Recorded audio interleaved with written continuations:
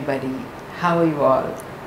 Well, today my guest is the most gorgeous girl, beautiful person in and out, who I really love her a lot. I, I don't know, I admire her so much. She is so inspiring a lot of people and full of positive energy. And it's nobody else other than the beautiful, gorgeous Pradaini with me. Hi. Hi, Pradhu, how are you? Fantastic. Thank you very much for having me here. It is uh, really You're sweet so of you. so beautiful in and, And out. so are you. Please. I can't say that enough. Thank you so much. Who is Pradaini according to you? How do you describe her? Good question. You know, so I've been reading my philosophical books and I see the first question, the, or rather, the moment you question yourself, who am I, is where your spiritual journey begins. So, putting that aside, because if I were to answer that, then obviously I am nobody. I am what you are, and you know, we're all one.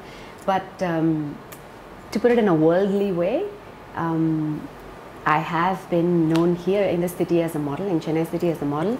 I work as an influencer right now, and my spiritual path has really um, started in the past couple of years and is getting strong. And I am, I am actually exploring and trying new ways to balance all the things that I love and enjoy doing. How did you become like this? Did any incident change you, or you're from the beginning? It's like this. Who, who who's uh, like? How did you aspire about it? Like, I, I feel like um, everyone's got um, challenges and in- incidences and experiences that happen all along. It's not just one person experiences something and the rest of the people don't even know what it is about. Everybody knows what a certain experience is. Maybe they don't get to experience it in a particular way, but they have their own challenges and their own lessons in life. And using all the challenges and not looking at it as, oh my God, this is going to drag me down, using it as a fantastic um, source of rising above it kind of changes you. It's like you peel so many layers of yourself and then you rise above it. And through every challenge that you face, you are a new person. And somehow when you look back and you're like, you're not mad at anybody, you're not, there is no anger, there is, there is nothing, there is only pure love. And only when you look back and you just say, wow, you know what, you have contributed to this. Because if I wasn't put through the challenge, without a challenge, nobody becomes sharp. Without, a, without playing a game, your mind doesn't become sharp. You can't just sit and wait for the answers to come to you. Well, the answers do come to you, but then there is some sort of an action from your end. That is you letting go, and that is you just loving and looking beyond you. things. Yeah, in other way. Yeah, looking beyond you. Let's put it that way. You know, you. your childhood. I want to know what were you in your childhood like? Did you have uh, uh, like I want to become this, or I want to take up this, or this is what my parents said, or no, this is my dream. Did you have anything like that? So, as a child, I was more of a tomboy. I had no toys. Uh, I lived in a big family, not because they didn't buy any toys, or I don't even know what it is, but for me, it was always the roads. I would climb the walls, I would climb the trees, I would play on the roads. I don't remember having toys at all as a kid. And I think that's one of the greatest gifts for me because I was not accust- I was not uh, used to, you know, just being inside the four walls. I'm, I've always been used to being outside in the nature. Adventurous. adventurous all the time with a lot of scars and falling down and i would never go back to my mom and tell her i got hurt i would figure out a way to handle it because even then i knew okay That's you because- fallen, nobody pushed you. exactly and Right? imagine if she says don't go out Yeah. that's something that i don't want so i'd be like okay i'm just gonna go you know wash up and be ready for the next day so my childhood was very raw and very outside and pretty much on the road you know you would find me as a kid i was only on the road outside the wall i would never take the gate i would only climb the wall it was the thing for me I know. so when Full of energy. always full of energy because I mm-hmm. loved it. I, I've always loved every single day in my own little ways. Many kids, you know, mm-hmm. telling I missed my childhood. Childhood. I mean, not kids when they grow up. Yeah. They say this. It really pains me a lot. Yes. No, I didn't. I didn't have a good childhood, or I didn't have. I had a stressful childhood. So, I think you know every child should think like you. Mm-hmm. Just grab what you have in in front of you and be happy with it, and try to make more happy. Yeah. Right? It's like like even toys. Every child will like a toy. Mm-hmm. You never missed it, and hmm. you you you never thought that oh you should play only with toys. Hmm. You had walls, you had trees. Yes. It's beautiful. Literally. Right? I think you love nature, and nature made you this way, I guess. Perhaps. Perhaps. I think it all comes with the, the experience. And of course, see, there are a lot of people who have had, maybe they've had tough childhood, yes. But everything, see, when you grow up with a tough childhood, that if somebody has had a tough childhood, when they grow up, there is definitely some sort of a subconscious program that's embedded in them. You know, they have been told you can do this, you cannot do this, so that's embedded in them. But they always have a choice to grow out of it. As an adult, you understand this is how I was as a child, and probably this is something that I didn't really enjoy. Then, as an adult, understand your powers. Understand that you have the power to be a child now. You know, without ha- shed your inhibition about True. what, are, uh, what what's someone going to say. Put on music and dance. Something as simple as that. As simple as that. And it doesn't have to be perfect or beautiful True, or uh, you know impress somebody. You dance. You're like moving your spirit. Movement is literally medicine. You know, when you're able to move, you should be grateful. And I think you should be grateful to your parents as well. Absolutely. Because they gave you this kind of, uh, what do you say, freedom. hundred percent. You know, freedom and 100%, that yes. what your father is uh, uh, was strict or your mother was strict or who gave you this much of liberation like? To be really honest, both of them were not strict. I think it's very easy for people to tell with the way I lived, they were not. But um, something so beautiful is um, so my dad is up there right now, is my guardian angel right now. Oh, okay. And um, he, I remember when I would come back from school and I would tell him, uh, Dada, this happened in school. And you know, that we all have our own little ways of taking things up to the father and telling you, okay, you know what, this went wrong, that went wrong. And his only thing would be, so what? So what? So what? wow. If you can be good, then be good. He says, You be good. Just because they did it doesn't mean you have to do it. This was one of his biggest lessons, and of course, that became much stronger and louder in my head after he left. But until then, every time I took up something to him, it was a so what? So what was literally his response A for pretty much real everything. mentor for you, right? Absolutely. I mean, with that, I, that like I, I was talking about the subconscious, um, you know, imprint, like samskara, like in my head, anything that happens, I'll be like, okay, so what? What is it that I can do? So what? Not in a way of so what? I don't care. Yeah. So what? Okay. So what? this happened to me. okay. So what? So what? So plan B. What is B. it that I can do to make it better? That's what. What is it? What is that one thing that I can do to make change the way I feel right now? And if I could train myself, if I could practice making myself and others around me feel better just for this one moment, then that becomes my habit, that becomes my day, that becomes my week, it becomes a life. Everything goes by the moment, really. Very well said. you were very young when you lost your father? Yes, I was 18. And I was so close to him. That was the time, you know, uh, fathers are very special Yes. to every child. Yes. Uh, they- Daughters, especially. especially for Yes. Mm-hmm. daughters. I want to ask you one more thing. This law of attraction, you know, because I, I, I read that once Mm-hmm. in your Instagram. This law of attraction, does that really matter? Like, is that important for people like you or me or the younger generation? Mm-hmm. Law of attraction is uh, is not just something that matters or not just something that's important. It is what we are living. Like you are here because of everything that you have attracted subconsciously in your mind. Subconsciously. Absolutely. So you have told yourself over a period of time that this is the life that not even something that you want, but this is this is your life. And that life has become you, you know? So you embody that um, uh, that very thing that you're looking at saying I want it, instead of saying I want it, you embody it as if that is who you are. And then that just becomes you. That is as simple as that. That's law of attraction. But of course there would be a lot of contradiction. People might ask then i've been asking for this but then it hasn't happened. It's a law it doesn't happen based on your rule it happens based on exactly how it's meant to be so the more you say i'm after this i'm i've been running after this for so long but it hasn't happened you don't run after anything because the more you run the more you attract running Yeah. so the more you run, so it's like a cycle that you're trapped in. The more you wait, the more you're waiting. But if you embody it as if it is you, if you if you could take a moment every single day, not just a moment, like few minutes a day, to visualize different areas of your life. What you want. Not even about what you want. That's what I'm saying. Scratch what you want. The moment you say you want it, that means you don't have it. Oh, okay. The idea is saying, I have this, okay? And I will tap into it when I'm ready for it. But I have it.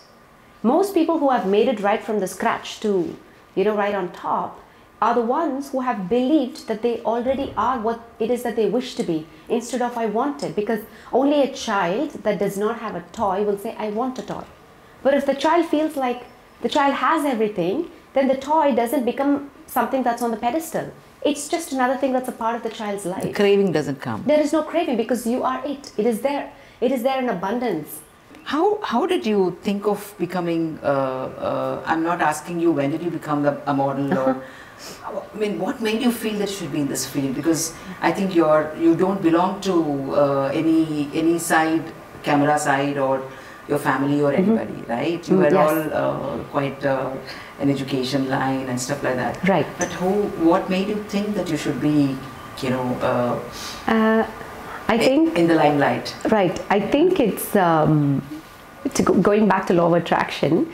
I've always been. Uh, I mean, nobody from my family. I don't. I didn't even know a model back then, right? But I was at some. Um, I was at some exhibition. I was just doing my part-time job when I was in college.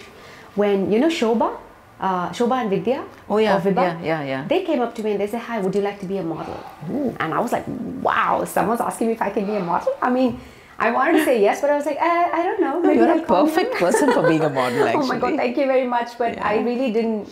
I didn't think of going there. I didn't put any effort of trying to be something in my head. A couple of times when people tell me, "Hey, you could be a good model," uh, you know, we always think like, how would it be to, how would it feel to be a model? I mean, obviously, I had no guidance. To be really honest, I had nobody telling me what I should do. Do it all, because for somebody who doesn't know how to become, it's a blank paper. You don't even know where to begin.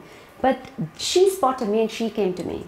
And you accepted it. I accepted it. I said, I said, I'll come and meet you. She wanted me to take part in Miss Chennai, which I never did. I was very adamant. Right. I think with me and uh, Eddie. I'm sure you'd have won. You'd have gone somewhere, right? well, I'm very happy where I am at the moment, honestly. But um, any any of the beauty competition or beauty pageant somehow didn't resonate with me.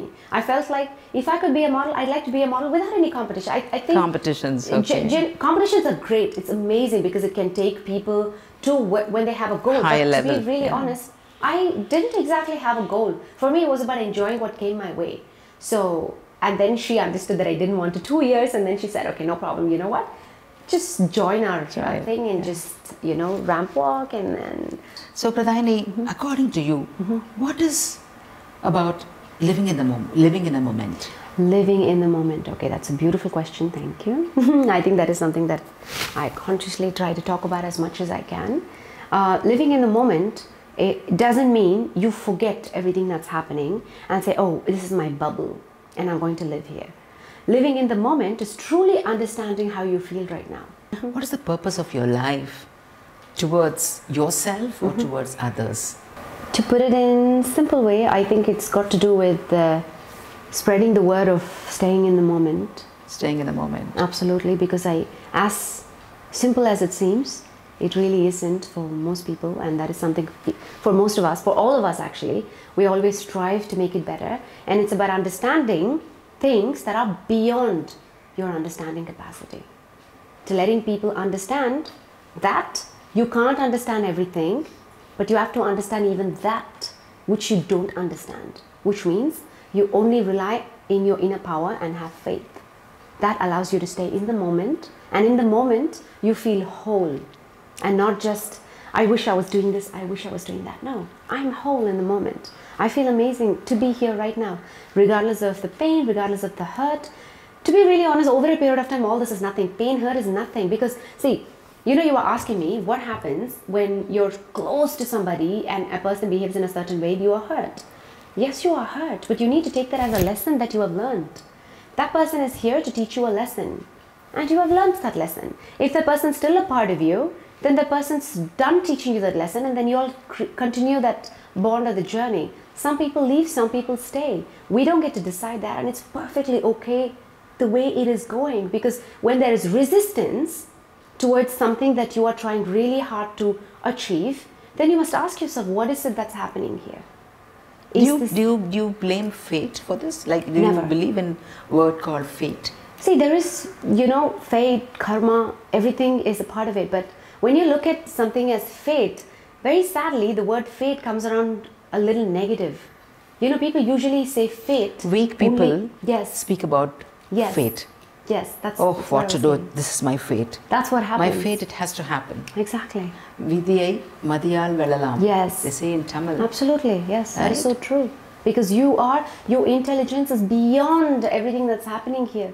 It is so easy for you to succumb to that little thing that's happening to you and say, oh my god, this is my fate. Usually people say, use the word fate only when something goes wrong. You would have noticed it. Otherwise, it's a blessing. It's Yes. a blessing. If something goes wrong, it's So fate. if it is in favor of you, it's a blessing. It's a blessing. if it isn't, then it's just fate It's as it fate. is. But then you don't get to see what is happening to you, even if you don't like it, is happening in your favor. And if you start thinking of that, then all the hurt and pain, disappointments, everything becomes minimal. Matter of fact. Yeah, it's like dis- not even that matter of fact of you accepting. Yes, that's. It becomes so minimal. It's not even much. Not even much. Doesn't You're matter. okay. I can still love you because you matter to me. Because there are people in a family, they have a lot of. See, if you're if you if you have if it's with a person who you have had a relationship or on the relationship on the outside, sometimes it's a blessing to part ways. But sometimes you are within that same circle and you are where you are. How do you deal in a situation like that? You do it with love. You speak as much as you can. Use your tool, communication. Communication seems to seems to solve pretty much everything. Communication, yes, that's a very beautiful, uh, you know, word. We must, uh, uh, I mean, everyone should uh, realize about it, because every second is fortunate for all Yes, of us. yes. Because we don't know next minute what happens. Absolutely. We don't know when you step out of the house whether you're coming back home. Absolutely. Because one second can change your fate. Yes. Yes. So we- should, we all should be really, uh, you know, fortunate enough and grateful to God Yes. that we are existing, hale and healthy, Absolutely. and we are able to move forward, right? And true, very true, because uh, as you said, the bonds, you know, the relationship where it cuts off. Sometimes, do- though we think that it's okay, I still love you, or I I still still be with you, you know, in our own families, you know, every வீட்டுக்கு வீடு வாசப்படி every family has got their own hud- hurdles right?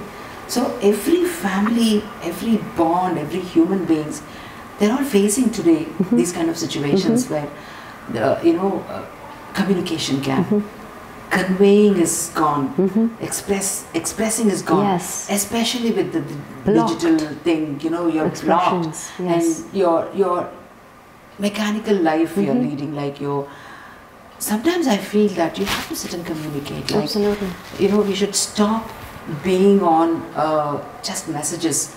You can with m- many but for few who really matter a lot for you you know i feel you should It's be nice to take that time. nice to take at least you know uh, once in a way to chat with them or talk with them or convey what you feel Mm-hmm. what you felt about them even if you had hurted Yes. you know clear it Yes. and even if they hurted you some way i think it's better to call and ask why did you do this So true. instead of having a vacuum So between two hearts Absolutely. you know between two people like this is what you did this is what it you know i think world is going somewhere Mm-hmm. so if everyone think of like this what you say what Mm-hmm. you said just now i think world will really become very beautiful I think it's it's in their journey, and everybody would learn this over a period of time. That also effective communication is if A has a problem with B, then A must somehow perk up the courage to talk to B. yes Somehow A, it's so easy for A to speak to C, D, E, F about the problem with B. goes on But that doesn't. If you have a problem with somebody, speak to that person. Speak to that person. Communication is Exactly. what. It's so easy for this person to speak to everybody else. You know, hey, this person did this to me. It's so easy to talk, but then you are. Re- what happens at that point is everybody is collectively giving you their own ideas of what you're growing this. different brains all are different Yeah, brains You're growing this beyond necessary. It's not needed. You speak to that person and you you don't owe anybody any explanations for the decisions that you make in life other than the people immediately involved. But again, this this kind of expressing, this kind of uh, uh, breaking the communication gap or breaking the ice or whatever, it will work with someone who reciprocates you or Correct. understands you. You know, uh, but it doesn't happen to narrow-minded people. Yes, it doesn't happen to some people who are made that way. Yes. which the loss is theirs, not ours. Absolutely. right. Yes. So I too believe in this. Like you know, I sometimes uh, I I have a few. Uh, uh, bad experiences like this. I try to communicate. I, I, I try to tell.